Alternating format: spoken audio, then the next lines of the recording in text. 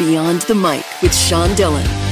We're joined on the star line by a woman who is the author of the number one cookbook ever on Kickstarter. Her first book, Good and Cheap, Help People on a Budget. We welcome author of Good Enough, Leanne Brown. Hello, nice to be here. Leanne, let's go beyond the mic. The pandemic was hard on all of us. Stuck at home, stressed, and we had to eat. How yeah. did you take this time to write and edit Good Enough? Well, I was lucky. I actually handed it in just before March of 2020. So there was a version that was already into my editor. And so then I was editing it through the pandemic, which, man, what a perspective change that was. And yet, on the other hand, it was also so kind of validating that this perspective of being compassionate to ourselves and allowing ourselves, frankly, to do less sometimes than our sort of perfectionistic fantasies would sometimes allow us is really, really important to just do what is good enough and to appreciate the care of what we are putting in rather than worrying so much about the result. I found myself feeling more like the message was really that much more important than ever for everybody uh, to hear. How did the pandemic change you and maybe the book as a whole? Oh my goodness, that's a that's a heck of a question. I think that it well, it changed me in the sense that I actually think I got way more comfortable with doing uh having like more of a rotation of meals that are just my go-tos rather than always trying to make something different and something really wonderful. I think I lo- I finally lost this idea that like if I didn't have a great dinner every night, something was wrong. I really held that sort of idea for the longest time, like that was the pleasure I need to get in my life, and I began to find other ways to find pleasure and take it easy on myself in terms of dinner itself, and just go like, you know what? as long as we're all eating, that truly is enough. Because you know what? It's hard to find inspiration when you're stuck at home all the time, and with the amount of change and the amount of stress, it was there's something.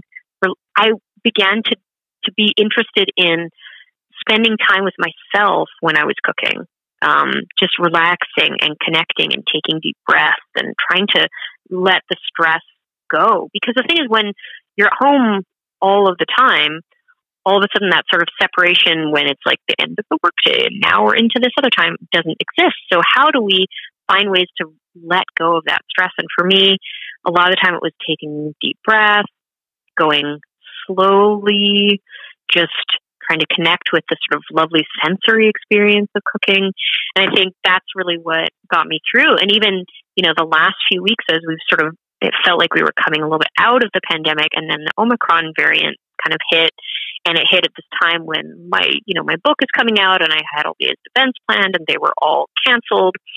It's really helped me as I've been, you know, sharing with friends, oh my gosh, you know, everything's not working out how I'd hoped, and I don't know if I'm going to be able to do a good enough job. And my friends are going, "Man, you literally wrote the book about how you're doing enough," and uh, and I think you need to hear you need to hear that message yourself, and it has helped. In your book, you tell some great stories. Give the TLDR version of the recipe and then straight to work. How is food not only nourishing for our bodies, but for our soul? Gosh, well, I think the big thing is that it is every single time our body gives us like a tells us I'm hungry. That is this really important thing to listen to. And I think we get trained in our culture to kind of ignore that sometimes and go like, "Oh, I got to work through this. It's like tough and I'm committed to my job and I'm, you know, to like power through lunch or something and ignore sort of our bodies, just like we might ignore when our bodies feel like back pain when we've been sitting too long or something like that. And so every time we choose to feed ourselves, and especially when we choose to take a little time and really make something that is for us, you know, that is to our specific taste, that honors who we are and and our own life. That is this beautiful moment of like honoring yourself. It really, really is.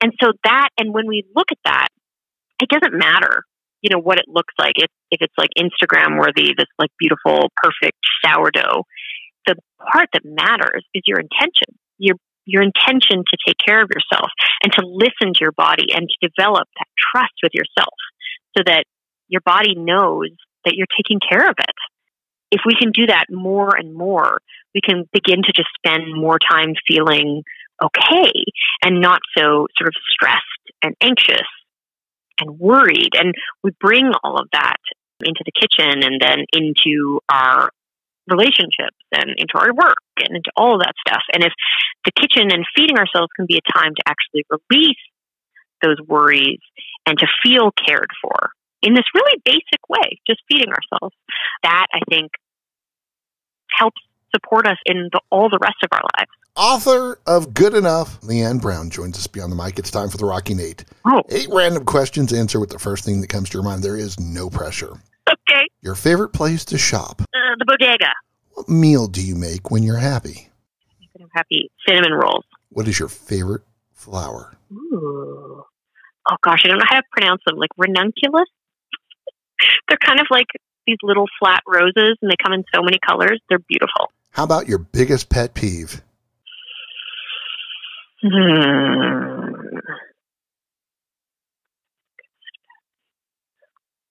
Um, uh, messy sheets, like crumbs in my sheets. Yes.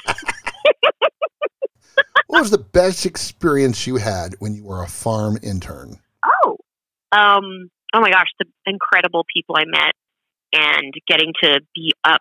I'm not a morning person, but being up super early and like the dew on the fresh vegetables and the way that you could smell the vegetables and the soil in the morning. Ah, unbelievable. What music do you listen to while cooking? Ooh, I mean, to be honest, I've been listening to the. I have a four-year-old, and we've been obsessed with the new Encanto soundtrack, the new Disney movie soundtrack. It's really good by Lin Manuel. Nice.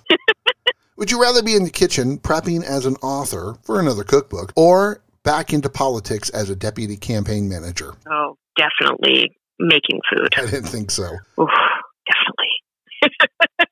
Where do you see yourself in a year? Oh, hopefully, just continuing to spread this help, this message of self acceptance in the kitchen, and hopefully seeing some people in person and cooking with them and getting to hug them. And yeah, I think teaching more classes and doing more talks and more in person stuff. It's time for One Big Question with Leanne Brown, author of Good Enough Beyond the Mic. Leanne, you don't believe in celebrating yourself, but I'll celebrate your effort to help those who can't afford fancy cookbooks by putting your book good and cheap online for free download. Why was that so important for you? Well, that just felt like it had to be done. I mean, Good and Cheap was a cookbook for really for a budget that means that you can't afford a cookbook. Um, and so, it, but it was so important to me that everyone be able to access it and there'd be no barriers to um, to receiving that information. If you wanted it, if you felt called to even look at it for a second, I wanted it to be possible to get it. So it had to be freely available. And then it was, we also, I was so lucky to have the support of my publisher Workman. So for every copy that we sold of the physical book, we also were able to donate one to someone who couldn't otherwise afford it. We worked with so many different nonprofits across the country to do that. Yeah, to me, that was just like, that was the follow through. That was what having integrity about that project looked like. She hates messy sheets, singing music from the movie Encanto while cooking, and loves to give back. Author of Good Enough, thank Leanne Brown for taking the time to talk with us today. Aw, thank you. It was fun. Thanks, John. And that, my friends, is a Beyond the Mic shortcut.